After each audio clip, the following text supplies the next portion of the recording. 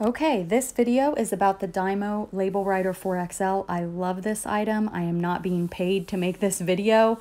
I just love it and want to share with you why. I'm going to show you a water test inspired by my friend Donatella Bodolino's question.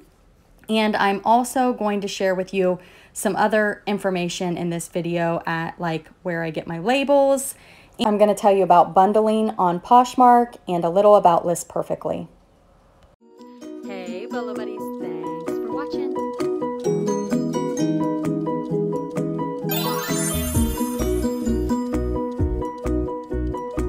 Full-time reseller. All right, let's get started. Okay, let's start with how I used to package and ship my items. So I had to cut the label out, and I'm sure some of you are still doing this.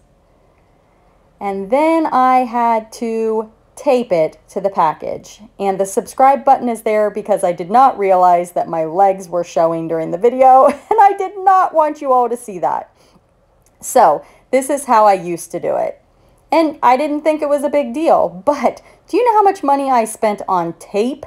Oh my goodness. And the time I spent doing this, what a waste of time. Look how quick this is. This is printing a label and I'm covering up the address for privacy reasons.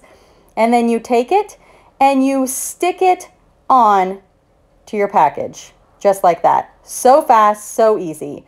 And a thermal printer is a printer which small heated pins from characters on heat sensitive paper.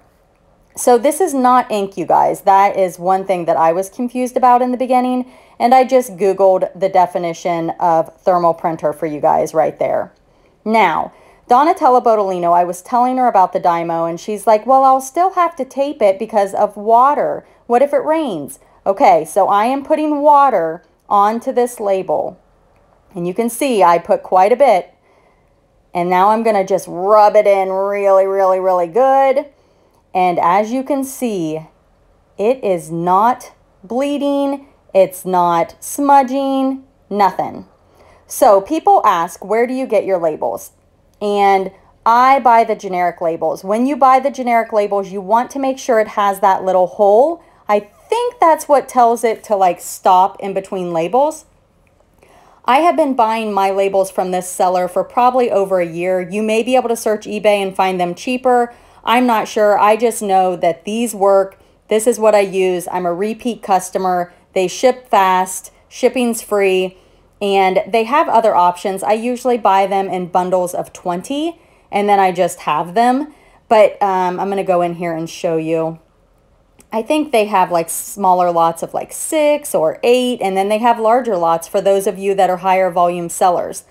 But these are generic labels, but they are compatible with the Dymo um, Label Writer 4XL.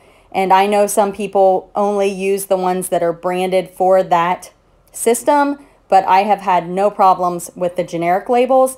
I will post a link down in the description of the video for where I get my labels. So watch for that down below. And then I also want to talk to you guys about how to list perfectly. This is a video I did. If you guys are not cross-posting, I highly recommend it. And I love, love, love List Perfectly. In this video, I do a demo and show you guys how fast and easy it is. And if you use coupon code BOLO Buddies, you'll get 30% off your first month. And that's BOLO Buddies, all one word. This is a bundle I just sold on Poshmark. I actually sold three bundles this weekend. And what I love about Poshmark bundles is the buyer pays $7.11 for all the items that they have bundled. So if they have 10 items, they only pay $7.11, which I think is great for encouraging buyers to bundle. And you can see right here, I'm showing you $7.11. And then I also offer 10% off bundles of two or more.